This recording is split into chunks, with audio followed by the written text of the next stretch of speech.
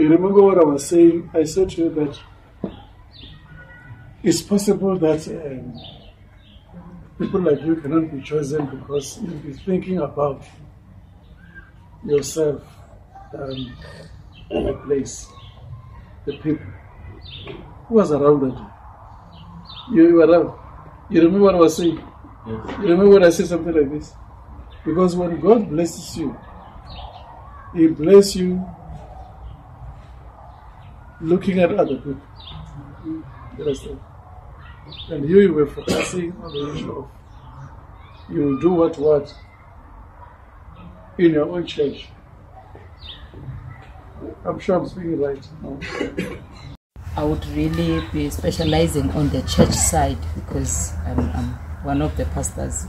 I've been singing, seeing churches lacking in Swaziland, not specifically my own church, but the church. When you see qualify on the first round, they're waiting for the second round. Do you think you'll choose? Because here it looks like, when I look, it looks like it's all.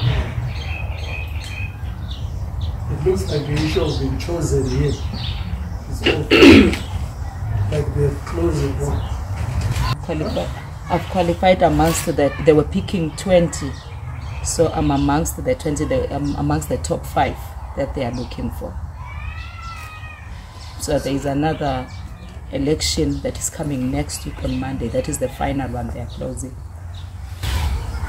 I need to pray for you. man. Amen. Yes. I really to pray for you. Amen. Because I believe that if they can choose you, they can change the state of your house. And they also rectify the issue of your house. Maybe, maybe this can bring order in your home. Understand? Uh, I believe the children will start to listen. Amen. This is the cry you have. I think we spoke about this. Like repeating, I feel like I'm repeating myself. I'm not repeating myself You're not. Because I saw one child um, who was giving problem. Amen. Huh? Amen. Mhm. That is true, but yes, Dad, it's true. I believe that the leadership can restore if you can prevent confusion. Thank You you. can also restore order in the house, Thank you, Dad. order things of the church, but don't focus on a specific or one church.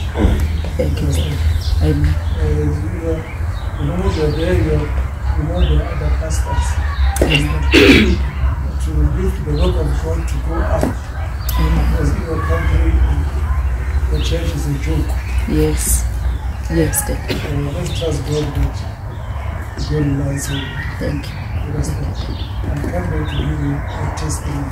Thank you. Are you ready for?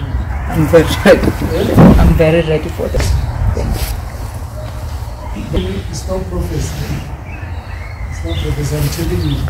Thank you, I'm telling you that uh, because I told one man that is going to be chosen, He's chosen. He Yes. said want to bring Israel, and there was no way he would be chosen. But always when I look at you, I can't afford it because of your perspective. Today, when you're going home, change this issue of being stereotyped focusing on people that you know that you will help because God wants us to cry for the people who don't know. You understand? And help them. So that's how God will lift you up. Oh. Yes.